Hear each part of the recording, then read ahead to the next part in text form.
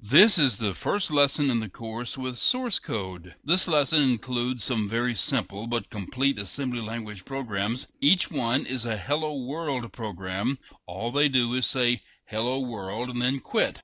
Let's start with DOS. Anyway, this is the shortest Hello World program that I know of. Let me explain it one line at a time. The first line is an ORG instruction. ORG is short for origin. This is an instruction to the assembler about where to put the program in memory. I'll have more about all that later. This next instruction puts the address of the character string in the DX register. Remember, this is DOS, so we only deal with 16-bit addresses. Next, the number 9 is copied into the AH register. Remember, AH, that's an 8-bit register.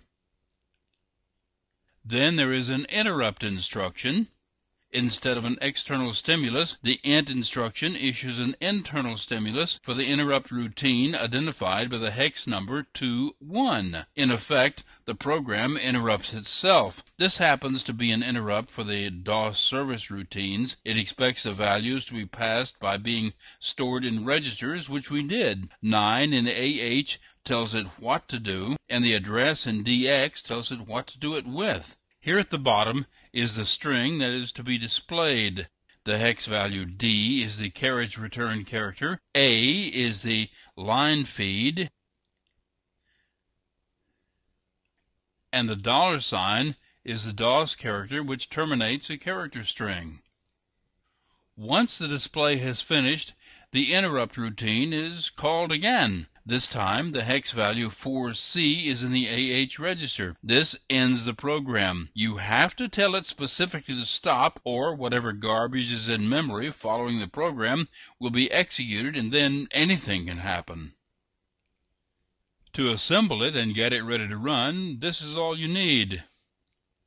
It is not necessary to specify the output file format because the simple unadorned binary format is the default for the assembler. To run it, just enter its name. It displays one line of text, then quits. Alright, here's another one. This is pretty much the same program except for a Linux system. Let me start by describing the string. The string is declared using a db, as in the previous example, but there are differences. For one thing, the string ends with a single carriage return character.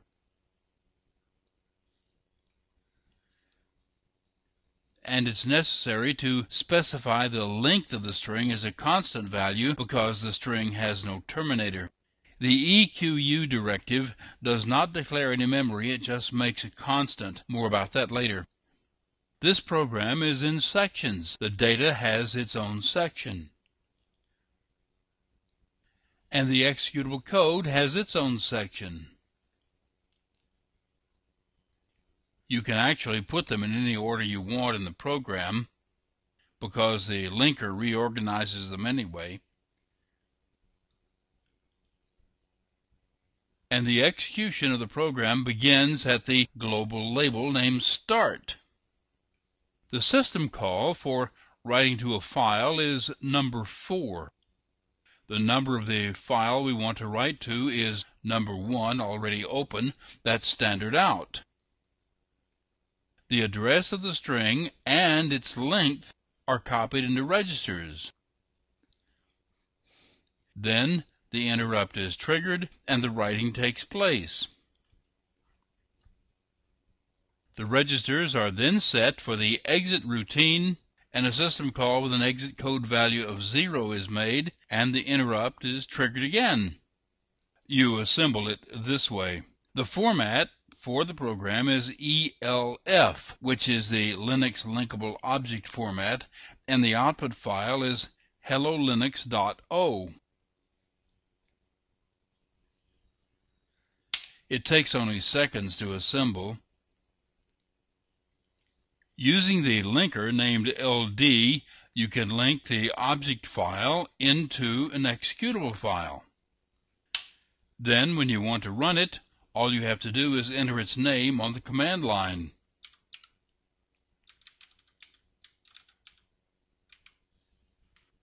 Now to make sure that Linux looks in the current directory, you can enter the name preceded by a dot and a slash.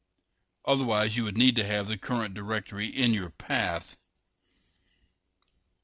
There are other Hello World programs, but these two are about as simple as it gets. If you feel like some things were skipped in my description, you're probably right. The next lesson starts to fill in some details.